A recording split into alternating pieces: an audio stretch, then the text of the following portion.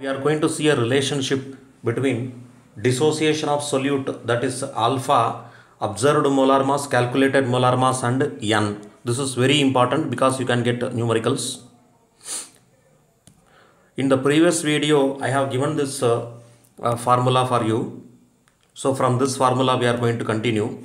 So this is for a dissociation of solute. So degree of dissociation becomes i minus 1 by n minus 1. Also, we have seen one formula in the previous videos that is van 't Hoff factor is equal to ratio between calculated molar mass and observed molar mass. So if I substitute the value of i here what I will get I will get a excellent relationship between alpha observed molar mass calculated molar mass n and van 't Hoff factor. So alpha is equal to instead of i I can substitute calculated molar mass by observed molar mass. What is MC?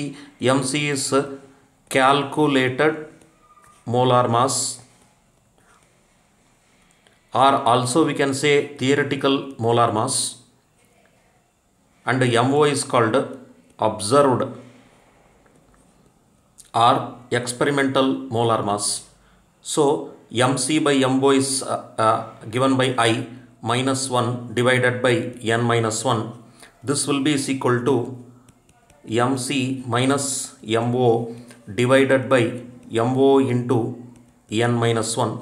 Therefore, I can say alpha is equal to calculated molar mass minus observed molar mass divided by observed molar mass into n minus 1. So this is for dissociation of solute. Knowing the value of observed molar mass n degree of dissociation can be calculated. Theoretical molar mass we have to calculate by ourselves using molar mass of the solute. For example, if they discuss sodium chloride, molar mass is 58.5. Therefore, uh, calculated molar mass of uh, sodium chloride we have to take it as uh, 58.5. This data they will not give in the question. So this is a very very important expression which is more useful in your competitive exam.